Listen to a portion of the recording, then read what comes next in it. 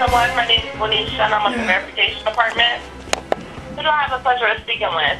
My name's Tyler, and this time I want my gift voucher. Last time you guys promised me one, and then you didn't hold up the deal. Okay, and your last name?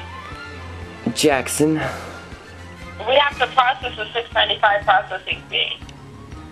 695 or $6.95? Dollars and 95 cents have to get processed. Alright, I can send you an envelope. We would have to process that through either Visa, MasterCard, American Express, or Discover. Okay. Well, wait. Who? What? Are you a? Are you a company? What company are you? I don't know what this is actually from. I know it's. It might be for Home Depot, but I don't know if it's through Home Depot. Well, you must have made a um, purchase at one of our major retail markings, like Walmart, Target, Sears, Home Depot, Lowe's, one of those. Uh, no, I didn't. They that you stopped there and they appreciate it, so they put your name into a drawing slip to receive these gifts. Now, once they take your name, they send us with all the information we need, and then we make out the call. Can, can I have a gift voucher, please? Yes, it's six ninety five, and how would you like it processed that? Through either Visa, Mastercard, American Express, or Discover. I do not own one.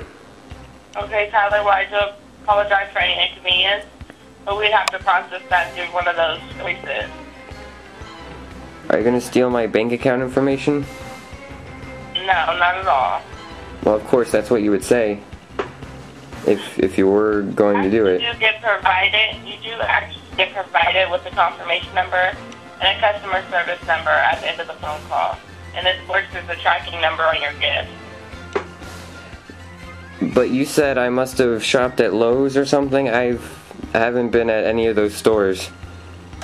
Unless Fry's is one of them. Is Fry's one of them? we market with a lot, sir, yes. There's all the major retail marketing stores is who we work for.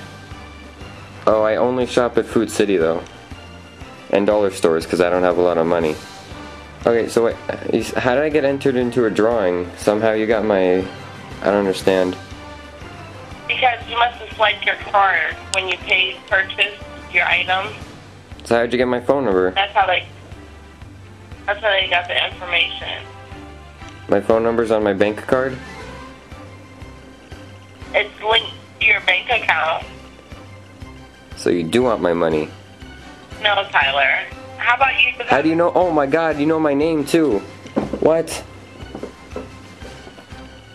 I don't think I want this gift voucher. I think it's going to come with a lot of consequences that I'm not prepared for. So, um, sorry.